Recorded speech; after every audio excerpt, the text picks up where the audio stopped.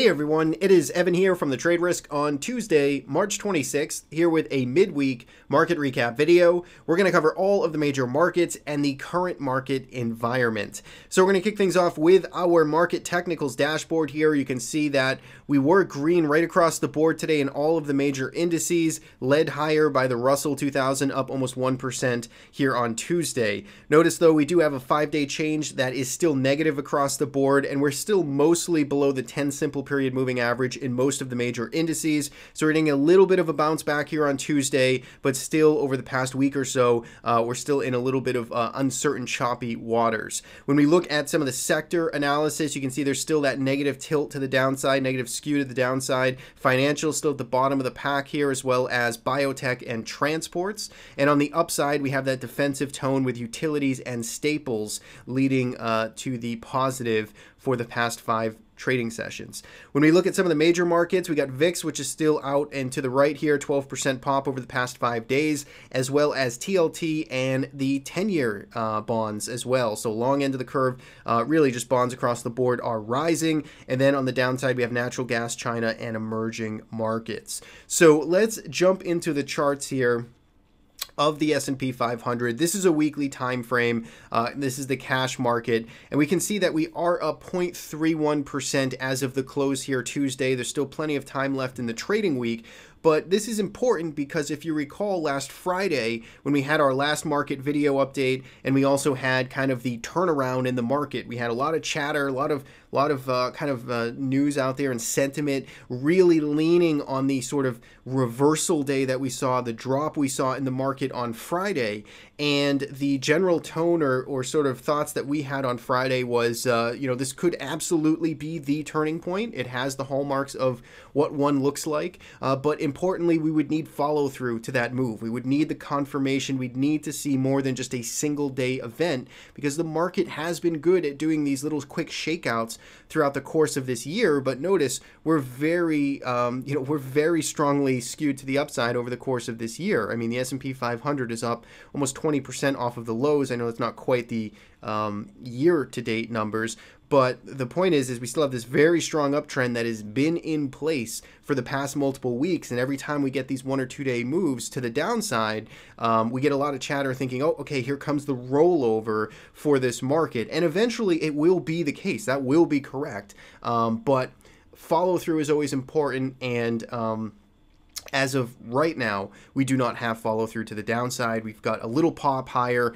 We're back above 2800. We still have a MACD that is trying to push higher here, so it is still making higher highs on um, or in the in the in the very near term. Uh, it is still grinding higher here, the MACD on the weekly time frame, and we just basically are, are back into this range that we've now been in for the past five trading weeks. So we have the context of this intermediate term uptrend, and we have now five weeks of essentially moving sideways, bouncing up and you know plus or minus 2800, but we're trying to hold above it right now. So if we go down to the daily chart and we look at the levels a little bit closer here, you can see Monday session was basically a muted session. We did attempt early in the day to, to kind of find some follow through to the downside, but it was mostly muted and we closed basically back up where we opened and uh, flat on the session pretty much across the board. And then today, of course, we had that pop up and the pop up failed. So by no means is this a, you know, a, a, a you know, a, a, victory lap for the Bulls. Uh, I don't think that uh, they, they deserve that at this point, uh, but there's certainly no cheering for Bears right now either. It's really a standstill. It's a choppy market, and this is where you need to be careful not to get too chopped up and not to chase moves too quickly uh, because we are getting just that sideways kind of indecisive grind right now.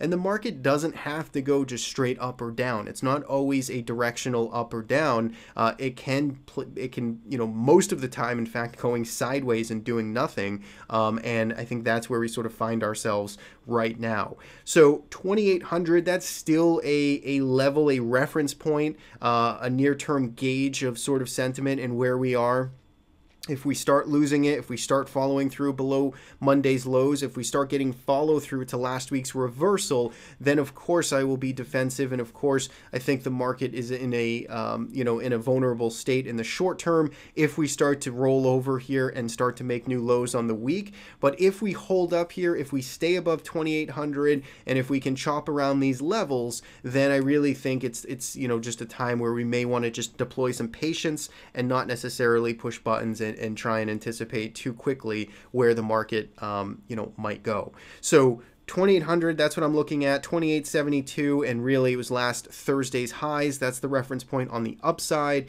And then if we start to roll over here it's going to be last friday's low i'm sorry two fridays ago's march 8th the lows there around 2722 that would be the next kind of pivot low reference point that i would pay attention to if this market does in fact start to roll over and take a nosedive below 2800 if we go to the iwm here this is where you know, maybe a little bit of encouragement came early yesterday because on Monday, notice that the IWM was in fact up, I think, the most. And again, this is very kind of minor, you know, minor uh, points or percentages that we're talking about, but it did get a more meaningful positive close yesterday. And we, in fact, got more follow through today. So it's up 1%. So, in fact, if we look at the, the uh, IWM on the weekly chart, it's up 1.5%, and it is above last week's lows, and it has reclaimed the pivot from March 8th here uh, on on you know back to the upside. So if we're looking at the IWM as the leader, there's some subtle clues here. They're very short term,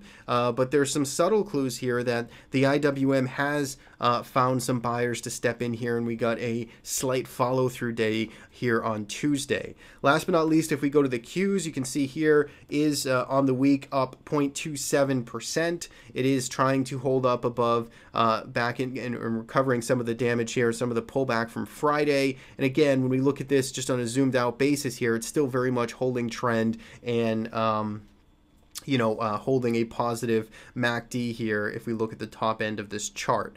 So all in all, no follow through yet. That could change. The week is not over. Uh, we're back above 2,800. The IWM st- starting to lead the pop here. And again, it doesn't mean we have to go straight up. Doesn't mean we have to go straight down. I think chop here is, uh, you know, totally reasonable situation as uh, the market sort of grapples with these levels. So that is the overall take there on the market environment. Let's go to some of the other major markets here. We'll go to TLT, which basically bonds across the board have been, you know, ripping nicely to the upside. Yields have been falling, and uh, TLT, no exception. You can see on the week here uh, is up slightly, had more of a lead yesterday uh, on Monday, but we did get a, a, pullback off of those highs. We talked about the position that we put on here in TLT, not in TLT directly, but in TMF, which is the 3x bull to the you know leveraged ETF to the TLT. Uh, put that on after uh, Wednesday's breakout session here.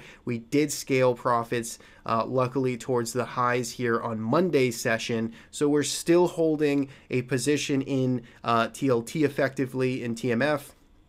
Uh, but we have taken some profits, raised up stops, still holding the bulk of our position, looking for follow through here. But I generally speaking like this breakout in TLT. This was a meaningful multi year level around this 122 area, 123 area. We broke out, we did it on volume, did it with some expansion in range. MACD is leading higher, kind of all the things you like to see in a breakout. Uh, doesn't mean we can't pull back, retest, and slog sideways here and kind of work off some stretched conditions. Uh, but generally speaking, as long as we're above 123, uh, I like TLT right now in the short to intermediate term.